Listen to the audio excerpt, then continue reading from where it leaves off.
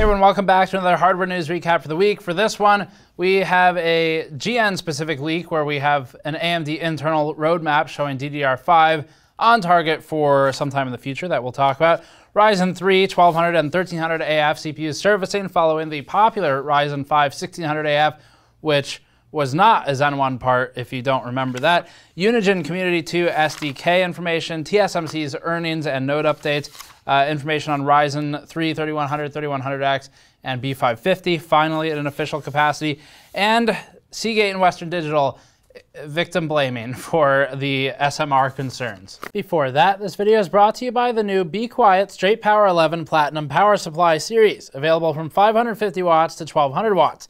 The new Straight Power 11 is platinum certified, operating more efficiently than before, reducing heat and lowering noise levels as a result. The Be Quiet Straight Power 11 Platinum is up to 94.1% efficient and meets the new low power standards of just 0.16 watts when in standby.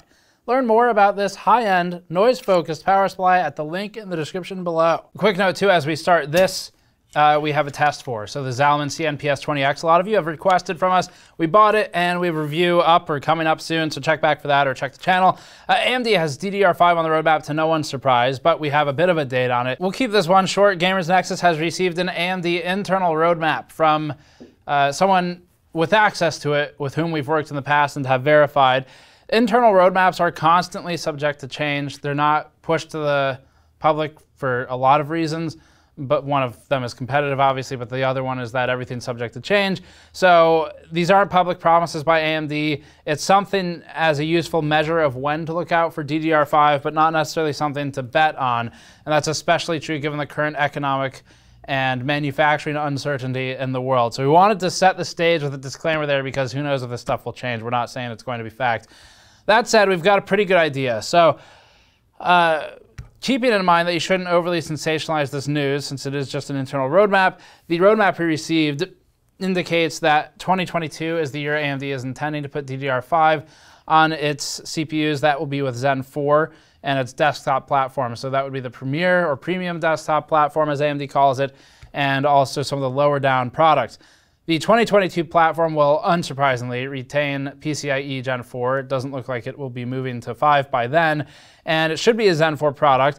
It's also intended to feature native USB 4 support, and then the APUs for that year are also supposed to have DDR5, but will be uh, apparently anyway Zen 3 Plus, but who knows? We'll see if that remains accurate. The mobile roadmap has DDR5 LP5 on board for 2022, and uh, that's also in the premium and in the gaming lines for notebooks. We have more information than that, but since we know how wildly internal roadmaps can change this far in the future of launch, uh, we're just going to exercise some responsibility here and withhold the rest until we're a bit closer to then. Next news item is a Ryzen 3 and 1300 AF story. The Ryzen 3 1300X AF is already available, but mostly in Europe, so it's available on uh, some retailers in the UK and in Germany. The 1200 AF was just spotted by a ComputerBase in Germany on their retailers as well. And this is following up the previous R5 1600 AF.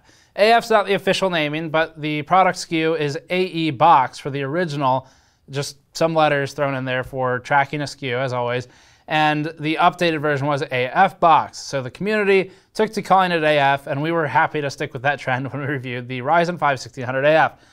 Somewhat comically, it seems like the retailers have caught wind of this too, because if you look on Amazon or Newegg now, they have, in many of the listings, officially renamed it to Ryzen 5 1600 AF, which isn't even actually the product name. So that's awesome.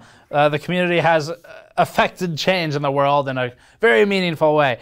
But moving forward, the three 1200 and the Ryzen 3 1300X, which many of you have likely forgotten because they didn't revive those lines for the 2000 series other than as APUs. They're supposed to likely be moving from the Global Foundries 14 nanometer node to the 12 nanometer uh, 12LP node that was used for the R5 1600 AF. The reason this was made for the 1600 at least, and probably the same for the Ryzen 3 chips, is because the global foundry supply of silicon at 14 nanometers has dried up at this point, and AMD has probably completed its contracts there, so they have to source the wafer supply elsewhere, and they've decided to do that with the better of the architectures, the better of the processes, and also keep roughly the same name. And that's something we talked about in the previous review.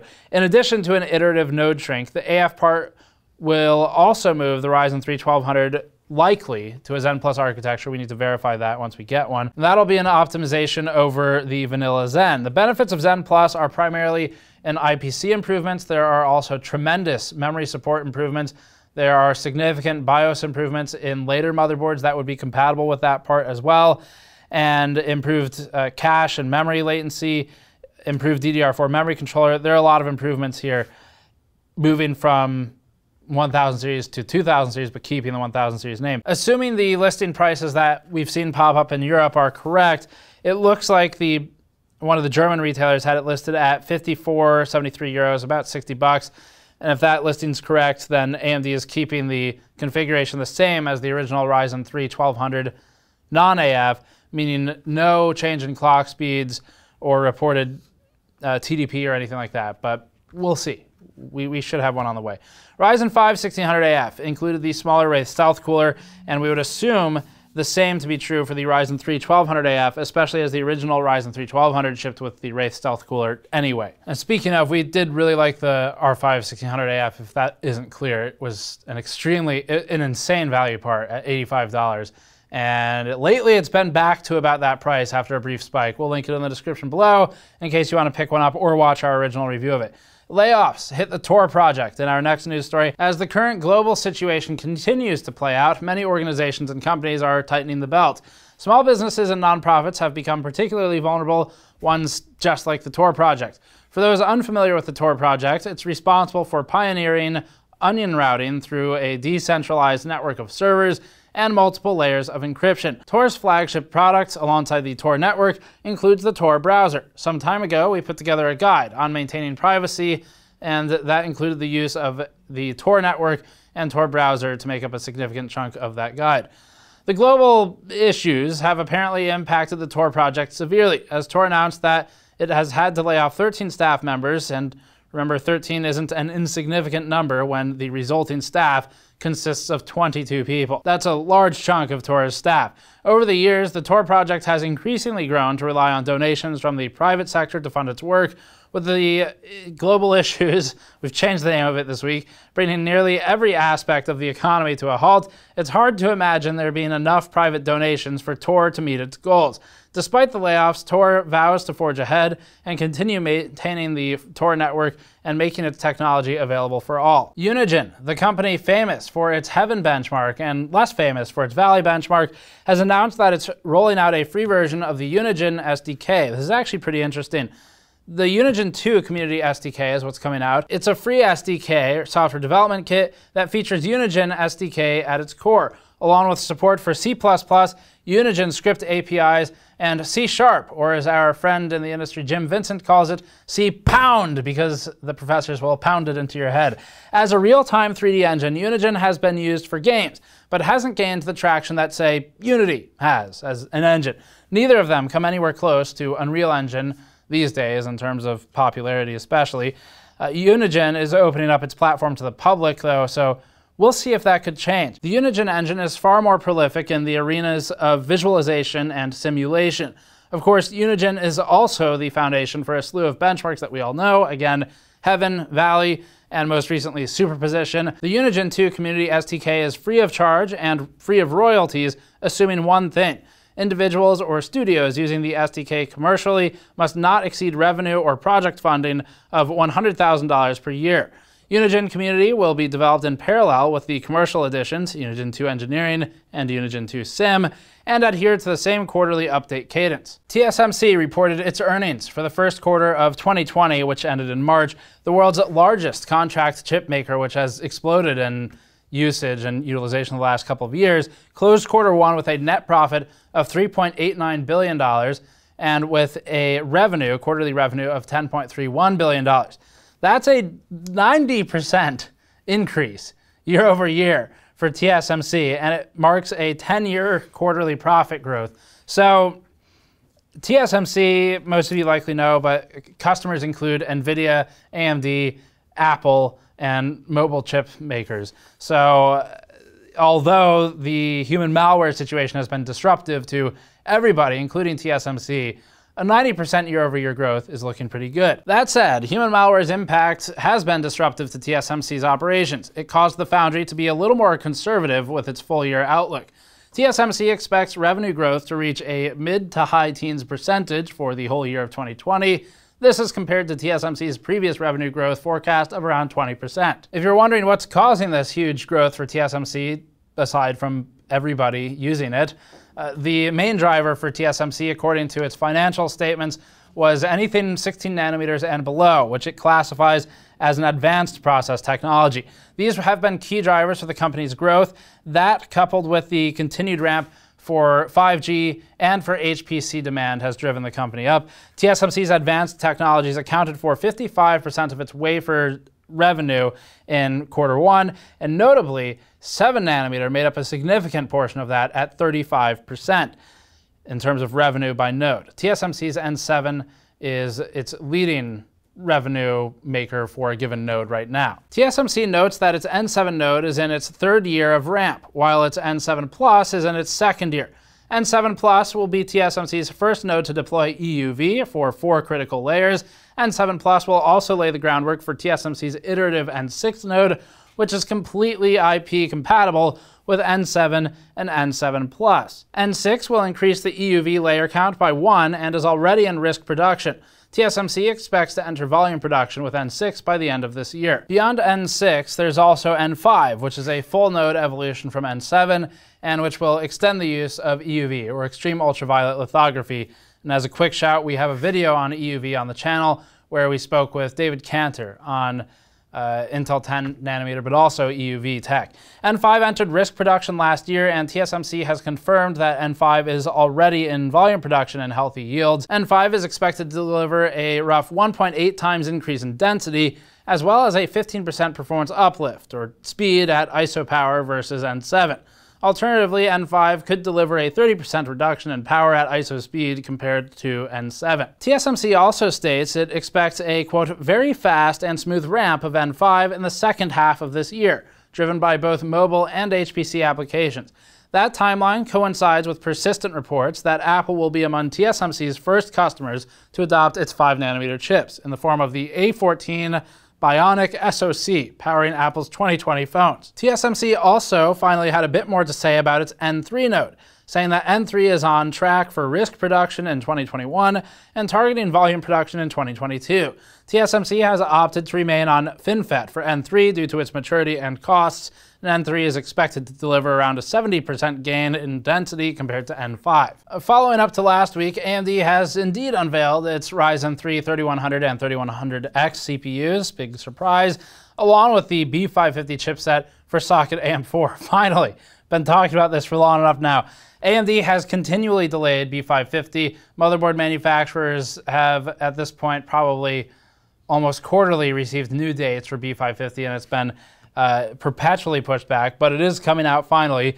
These Ryzen 3 parts are not to be confused, just to make sure everyone understands now, with Zen 3 or with Ryzen 3000 alone. They are Ryzen 3000 parts, but when people say Ryzen 3, at least us here, unless we specify further, Ryzen 3 is supposed to just mean R3, as in the what started as the lower end quad cores for the Ryzen 1000 CPUs and then was discontinued in the Ryzen 2000 line, only brought back as APUs until just recently. Over the course of three generations with, with Zen, which is counted as Zen 1, Zen Plus, and Zen 2, AMD has found itself firmly in the premium CPU vendor position now. Ryzen 3000 launched with the high-end SKUs. AMD did not offer a Zen 2 SKU with anything fewer than six cores and a price tag of $200 at launch.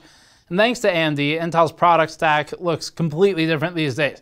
Comet Lake S, the i3 SKUs, are essentially becoming the i7 chips of yore. Intel has moved the i3 brand from dual core to quad core and is all but certain to extend hyperthreading to them as well. This would leave AMD vulnerable at the low end, and we're assuming AMD realized this. Thus, we have the Ryzen 3 3100 and 3100X coming out. AMD promises that its Ryzen 3 parts, although not a surprise that a company would promise this about its product, but will be aggressive both in performance and in price. We will be independently verifying the claims and benchmarking it in our updated CPU testing suite, which you'll see a video on soon. The positioning here, AMD has indisputably led the charge for competing on price over the last couple of years, and that strategy has worked off, especially with the multiple chiplet approach. In terms of performance, we need to see how it does in testing. We'll let you know. Intel has historically enjoyed an advantage in gaming performance, and that's been slowly whittled down to mostly the extreme high end, where at some level with the mid-range and lower end chips, it starts becoming questionable how the frame time consistency is maintained in certain games, where it might be an i3, i5 might be ahead on average. It can fall behind in significant ways in games that are taxing of thread count. So Ryzen 3, the 3100 and 3100X, it looks like AMD is setting the stage for another price war. The Ryzen 3 3100 is supposed to be priced at $100, and the 3100X should be 120. Both chips will be Zen 2 at their core and will leverage SMT, which is a first for R3 chips. Support is supposed to be for DDR4 3200, standard right now. It comes fully unlocked. It's got support for PCIe Gen 4. How much that matters? Well, for most people, uh, almost not at all. But anyway you cut it, Intel's looming i3 chips won't have it easy against Ryzen 3. Lastly, AMD is finally rolling out the budget-oriented B550 chipset for its motherboards, noting that it has over 60 designs in development with motherboard partners. AMD's B550 will bring PCIe Gen 4 to a broader user base and should be less price prohibitive than X570, which uh, we have a lot of videos on it, but you don't really need an X570 motherboard in most instances. You go X470 or B450 and be perfectly fine. That said, the X570 boards have gotten really good, and they're really starting to take that Intel approach of really pricing up the high end of them. The Ryzen 3 3100 and 3100X are expected to be available uh, May 21st of 2020, obviously, and the B550 board should arrive from AMD's partners June 16th of this year. Seagate and Western Digital acknowledge SMR concerns. In a quick update to last week's SMR story, both Western Digital and Seagate have responded publicly. Western Digital initially defended its position on SMR, mentioning that it doesn't always discuss, quote, what's under the hood, like drive managed SMR or DMSMR and host managed SMR, preferring to instead default to specific use case discussion. It seemingly walked those comments back a bit, with a decidedly more humble tone. Western Digital went on to disclose all of its client hard drives that use any form of SMR. These include drives in WD Red, Red Pro, Blue, Black, and Purple. WD went to, on to state that it would update its marketing materials as well, add information about SMR, and include benchmarks and ideal use cases. That's an awfully big change from we don't really disclose it and it depends on the use case. It it certainly sounds like a change that might be in fear of a class action lawsuit. Just not an expert here, but that's normally what happens in these instances. Seagate gave comments to Ars Technica about the matter as well, and this was regarding the use of SMR in some of its hard drives. Quote, Seagate confirms that we do not utilize shingled magnetic recording technology in any IronWolf or IronWolf Pro drives, purpose-built for NAS solutions. Seagate always recommends to use the right drive for the right application. Seagate was less forthright about its use of SMR in client desktop drives, though. Seagate seems to maintain that SMR is appropriate for consumer drives, and while Seagate's Exos and Archive hard drives are identified as using SMR, it still seems content to market its Barracuda drives with undocumented SMR use. Additionally, Gamers Nexus has reached out to Toshiba for clarification of its use or disclosure of SMR, we, at the time of filming, have not heard back. This is a few days later now. If we receive comment from Toshiba, we'll include it in next week's Hardware News episode. LGA 1200 should retain LGA 115X cooler compatibility, which is great news for anyone who likes to make use of large tower coolers, even like this one, for many years. So uh, last December, a drawing surfaced of LGA 1200 socket. This is what's supposed to be on Z490 motherboards. It's got 49 more pins than 1151. That's how the naming works. And the drawing indicated, although it was speculation at the time, that the compatibility with coolers would be the same. That's now been confirmed at this point. The uh, confirmation comes from Noctua, who posted the following quote on its product pages. It said, the heatsink mounting on Intel's new LGA 1200 platform, codename Comet Lake S, is identical to all LGA 115X sockets, 1150, 1151, 1155, and 1156. Therefore, all Noctua CPU coolers that support LGA 115X also support LGA 1200. and don't require mounting updates. Just from a cost control and economic standpoint, this is obviously always good news. This is why we also like seeing AM4 roll forward as far as is feasible, and in the very least, the mounting holes for AM4 we would like to see roll forward with AM5. Eventually it'll change, but keeping the same mounting holes and retention system is key to reducing user cost on something that it's a big piece of metal. It doesn't really go bad. So rolling it forward makes a lot of sense. It's also good from an e-waste management perspective where you're talking about a, potentially a two pound brick of copper and aluminum and to basically throw it away or recycle it just because it doesn't fit anymore seems kind of stupid when the whole point is to sink heat. So this is good and we like to see this. Cedar supercomputer hit with a hidden crypto mining process. Someone finally did it. We would love to know how much they made on it. But GN received a tip from a viewer who goes by Dr. Goose. Uh, presumably, Dr. Goose is friends with our other informant, Dr. Oh, sorry, Mr. Fahrenheit. He hasn't earned his PhD yet. He's he'll presumably become Dr. Celsius later on. Uh, either way, uh, Dr. Goose, whom we think is a PhD in waterfowl and avian species, tipped us off about Cedar, a petaflop scale computer, supercomputer that resides in Simon Fraser University in Canada. Cedar was taken offline due to some security mishaps. An investigation was launched by Compute Canada, who deploy and maintain many of Canada's academic supercomputers, after reports that Cedar was performing unusually slow. The team investigating, including members from both Compute Canada Federation and Simon Fraser University, found that there were hidden processes running between midnight and 6 a.m. Uh, Pacific time that were leading to significant system load. Upon discovery, Cedar was taken offline from Wednesday, April 15th, to midnight on Sunday, April 19th. While offline, Cedar was technically still running and queuing jobs. The investigation uncovered a cleverly hidden cryptocurrency mining process that was running from 12 to 6 a.m. daily. The process poached idle compute cycles, and it's believed by the team that the mining process was injected into Cedar through a compromised user account uh, and user key. The information that we received from Dr. Goose also indicated that the standard monitoring tools on Cedar were unable to detect the issue. It was obscured from them, and that's because it would automatically remove evidence of daily activities at 6 a.m. Pacific time. Therefore, the executable was not seen in the file system, and Compute Canada notes that there was no instance of personal or private data being compromised. So thanks to Dr. Goose for sending that in. If you would like to send in similar news tips to us, or uh, if you have any information for which you need to be protected. We do protect our sources. You can email that stuff to tips at gamersnexus.net. Finally, RTX Voice and some hardware sales information just quickly here. RTX Voice came out. It's interesting. We ran benchmarks on it. You can find it on the channel. Uh, from a usage standpoint, it seems to mostly work. There were instances where with a, a decent amount of fan noise, a reasonable amount for a high-end machine with maybe, let's say, uh, 360 rad, and probably a, at a 20 inch distance about maybe 45, 50 dBA of noise. Given that scenario, it worked pretty well, but in some instances, we had problems where the voice would just cut out when it really shouldn't be, and this is pretty common for any kind of noise reduction software. So it still has some of the robotic tin to it as well when it's first kicking in and evaluating the voice, but overall works decently for an early beta, and we have benchmarks on it if you're curious about the performance, and that's on the channel. Finally, hardware sales.